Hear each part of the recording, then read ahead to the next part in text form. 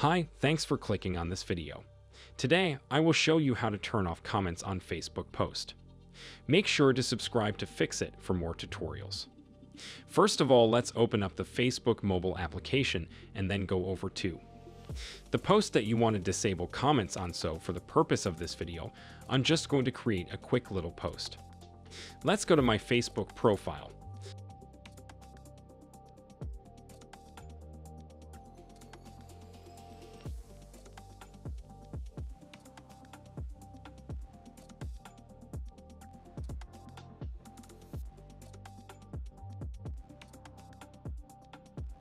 So once you find the post that you want, to disable comments on tap on these.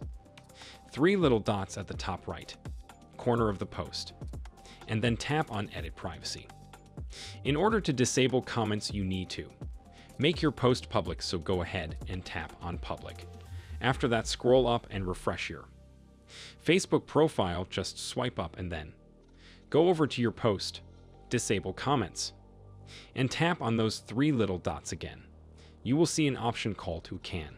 Comment on your post. Simply tap on it, and it will give you a couple of options. To disable comments on your post, simply tap on the profiles and pages you mentioned and then tap Done. Now, no one will be able to comment on your post. If this tutorial helped you today, make sure to subscribe to Fix It.